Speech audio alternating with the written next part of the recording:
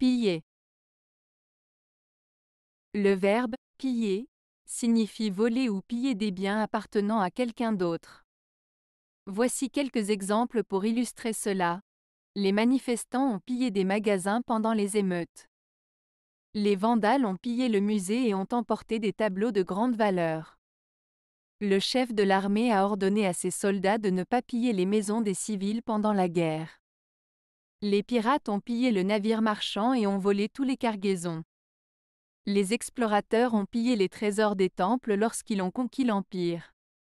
Il est important de rappeler que piller est un acte illégal et qu'il est puni par la loi.